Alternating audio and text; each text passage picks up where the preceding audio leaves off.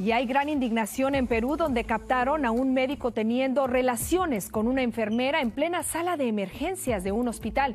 Este video fue captado por el familiar de un paciente y muestra al doctor en pleno encuentro íntimo detrás de un vidrio pavonado, pensando que nadie los estaba viendo.